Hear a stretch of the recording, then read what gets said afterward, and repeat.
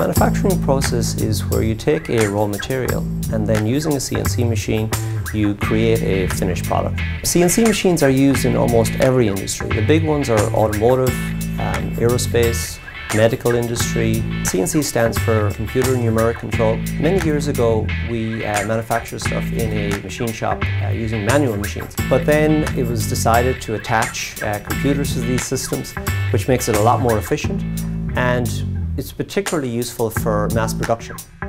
Tooling U will show you how to use a measurement instrument. In the classroom, what we try to do is cover as much hands-on uh, material as possible. The program is set up in a way that the student who comes in, he or she can go right through the uh, Engineering Technology Associate here at BC, or he or she could take a section of it. Um, some students may then go on to do a AA, and then transfer on to do a bachelor's. The CNC part of it has three classes. The first is Intro to Machining, the second is Advanced Machining 1 and Advanced Machining 2.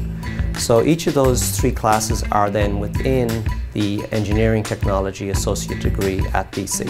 The student can do the CNC certification itself or then he or she could then go on and take that certification and complete the engineering technology degree at BC.